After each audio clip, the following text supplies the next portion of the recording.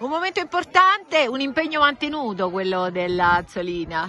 Sì, era programmata per lo scorso anno questa intitolazione dell'istituto, poi ovviamente per motivi legati all'emergenza sanitaria non si è potuta fare, allora eh, insomma, ho, voluto ricontattare lei in quanto ex ministra nel periodo più difficile della, della nostra storia, insomma, legata a questa emergenza sanitaria. Una storia importante legata a questa inaugurazione, la vogliamo ricordare, una donna importante. Una donna importante, Cesira Fiori, che innanzitutto è, una, è stata una insegnante di scuola primaria, anche scrittrice di diversi libri sia per la scuola, ma anche nel periodo in cui poi è stata esiliata per ben quattro anni a San Demetrio nei Vestini dal 39 al 44, quindi una donna veramente che meritava questa intitolazione. Oggi siamo in questo momento a San Panfilo d'Ocre, poi si proseguirà a San Demetrio per una giornata molto ricca, questo è veramente un gioiellino Lattanzi, è una...